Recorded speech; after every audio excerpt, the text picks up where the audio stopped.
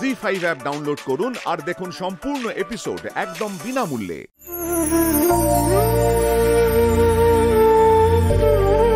বললে বাবা, আজ আমার কথা তোমাকে রাখতেই হবে। তোমার সামনে আমি জ্বলন্ত প্রদীপের ওপর হাত রেখে বলছি। বিনা দোষে ইন্দ্রবাবু শাস্তি পেতে পারেন না। আমরা যাতে ইন্দ্রবাবুকে উদ্ধার করতে পারি। তুমি সহায় হও না।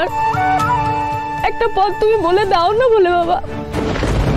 আমরা যেন ইন্দ্রবাবুকে উদ্ধার করতে পারি বলে দাও না পথ।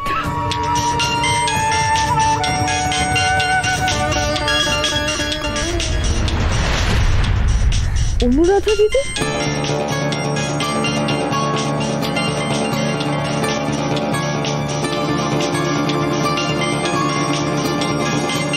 তুমি আমার কথা রেখেছো বলে বাবা। আমি জানতাম। আমি জানতাম তুমি ঠিক শুনবে আমার কথা।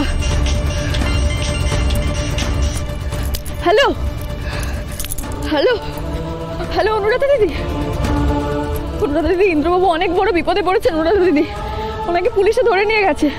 আমাদের তোমাকে খুব দরকার অনুরাধা দিদি। আমরা কিছুতেই ওনাকে এভাবে সবটা জানি মিতুল আজকে বিদেশ থেকে ফিরে আমি সবটা শুনেছি। আমি তোমার সাথে দেখা করতে চাই। কি হ্যাঁ আমি, তুমি এক কাজ করো, তুমি আমাদের বাড়িতে চলে এসো হ্যাঁ? না না, তুমি কোথায় আছো বলো? আমি সেখানেই চলে যাচ্ছি, তোমার সঙ্গে দেখা করে নেব, কেমন? বলো না তুমি কোথায় আছো? তুমি পেছনে ফেরো।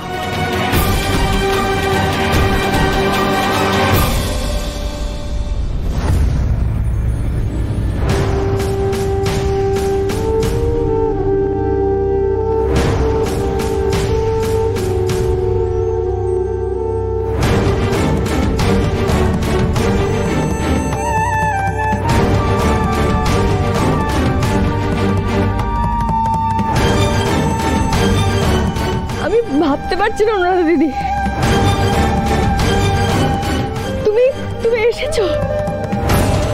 তুমি যে আমার কত বড় উপকার করলে তুমি তোল এভাবে বলো না। আমারই খারাপ লাগছে যে ইন্দ্রে এরকম একটা মিথ্যে অপবাদে ফেসে আছে। আমি জানি সেদিন ইন্দ্র আমার সাথে ছিল। ইন্দ্রকে মিথ্যে অভিযোগে ফাঁসানো হয়েছে ওই ছবিগুলো আমার কাছে আছে ধন্যবাদ অনুরাধা দিদি। তুমি তুমি যে কত বড় উপকার করলে আমি উপকারে কি আছে মিতুল ইন্দ্রের যখন এত দরকার ছিল আমাকে, তখন আমি এখানে ছিলাম না, আমি বিদেশে চলে গেছিলাম। আমি যদি এখানে থাকতাম, তাহলে ইন্দ্রকে এত কষ্ট পেতেই হতো না, আমি তো আগেই ওকে ছাড়িয়ে নিতে পারতাম, তাই না? তুমি আমায় বাঁচালে। মিতুল, এভাবে বলার কিছু নেই। ইন্দ্রকে বাঁচানোর জন্য তো এইটুকু আমি করতেই পারি, তাই না?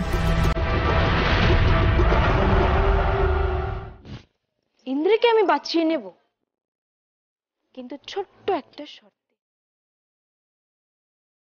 শর্ত? কি শর্ত? জি ফাইভ ডাউনলোড করুন আর সব এপিসোড দেখুন একদম ফ্রি